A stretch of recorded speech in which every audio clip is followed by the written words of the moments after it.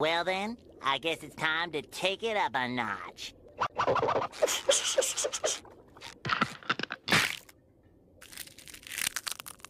Ah!